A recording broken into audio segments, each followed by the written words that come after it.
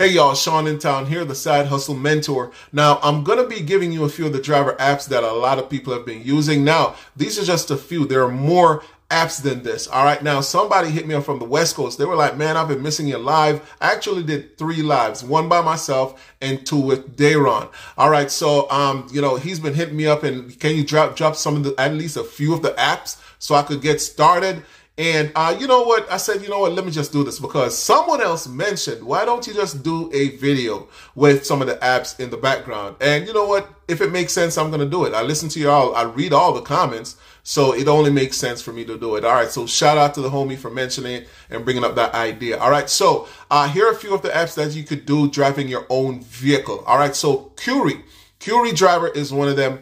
Uh, VHO app is actually one of the more popular apps. A lot of people have been jumping on that. Also, GoShare is a pretty good, good one to rock with. Also, now Bungii Driver. This is uh, this is real. This is a really popular app. These are apps, not websites. You could download these apps. All right, Frayt is another one. That's a good one. Also, Roadie.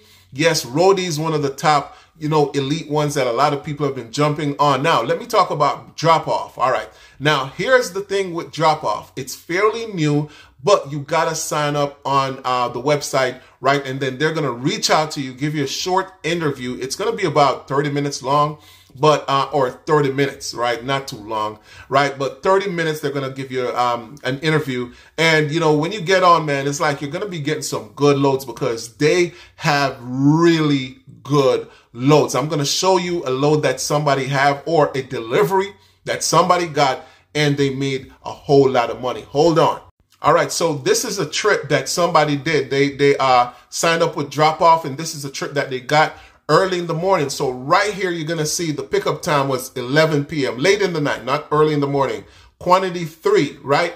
So uh, it's coming from uh, where it's at Wilmington. I'm in North Carolina. This is North Carolina, and the drop off was in Durham, right? So that's around three and a half hours around there, four, and they had like a few packages to drop off three. Well, this was more than one trip. This girl, this guy did it and made $991, y'all.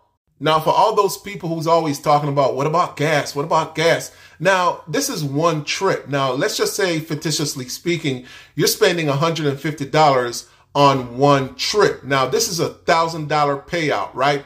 Now, $850, is that not worth it?